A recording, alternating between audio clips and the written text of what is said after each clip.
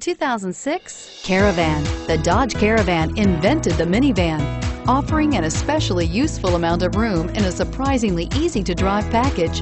The Caravan quickly became the new synonym for family transportation and spawned competitors from all sides and is priced below $5,000. Is love at first sight really possible? Let us know when you stop in.